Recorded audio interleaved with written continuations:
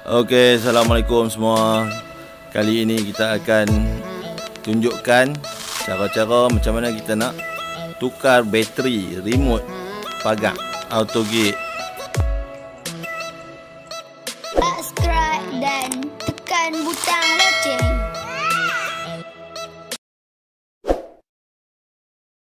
Okey, bagi sesiapa yang ada auto gate pasti akan ada masalah dengan remote dia bateri habis tekan tak function. So macam mana kita nak gantikan bateri ni ya? So hari ni saya akan tunjukkan macam mana kita nak ganti bateri untuk remote ni. Jom sama-sama kita saksikan.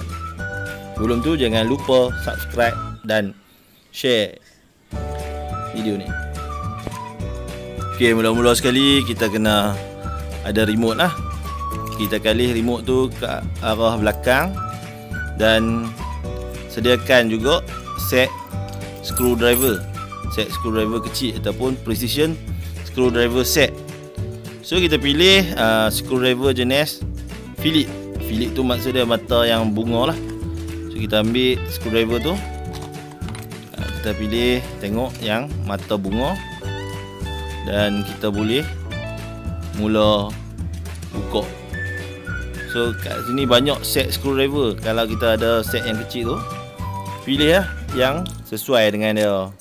So remote yang saya ada ni dia Ada menggunakan skru jenis mata Philip. So kita buka satu per satu skru. Okay Dia tak kuat sangat uh, uh, Skru dah. Jadi kita pusing sikit-sikit saja perlu kuat sangat. Lagi pun senang je. Benda ni siapa-siapa pun boleh buat sendiri kan? Ok buka keempat-empat skru yang ada. Ok so pusing ikut arah lawan jam lah semua orang tahu yang tu. Ok ok so kita buka. Kan kali tengok dalam ada litar lah so dalam tu ada bateri satu bateri jenis kecil panjang. Bateri 12 volt. Okay. bateri 12 volt. Uh, kita buka keluarkan dulu bateri tu. Kita tengok jenis jenis bateri. So bateri ni jenis 27A uh, 27A 12 volt. Alkaline bateri. So kita saya dah beli bateri ganti Bateri ganti A27 Energizer. Murah je bateri ni pun. Ha, RM5 je Tak payah kita pergi sampai kat kedai. Bawa remote tu Kadang Dia cas sampai RM8 Padahal boleh beli sendiri je. Bateri ni beli kat DIY Murah. 12 volt Alkaline bateri. Lajak buat sendiri Tak susah mana lah Okay So Kita koyak bateri Macam biasa. Tanggalkan Dia punya retas tu. Keluarkan bateri dan masukkan ikut uh, position lah. Arah positif negatif. Biasa yang ada spring tu tempat bawah sekali bateri ya.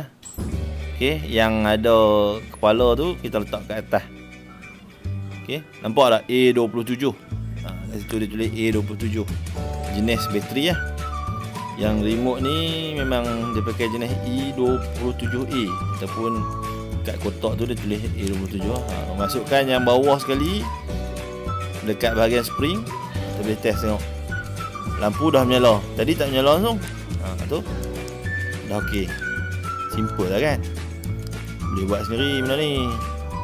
Tu bila dah siap dah terbukti dia menyala tu sebab pagar tengah duk terbuka.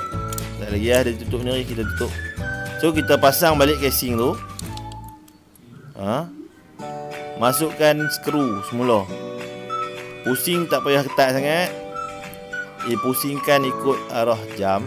Macam mana kita buka tadi kita lawan balik lah ok so ketatkan semula skru ke empat-empat skru pastikan masuk dengan slot yang betul lah. Ok so kita ketatkan supaya kemas lah ok so kita boleh sambil-sambil tu kalau belum subscribe subscribe lah channel saya dan jangan lupa tekan butang like dan komen yang murni. Okay, so kita boleh cuba keempat-empat button yang ada. Memang menyala lah. So jom kita try kat pagar auto gate. Okay. So kita try. Dah function. Cantik punya. Auto gate pun selamat dibuka. Senang kan?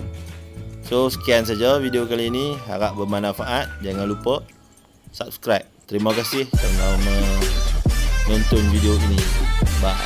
Jumpa lagi. Assalamualaikum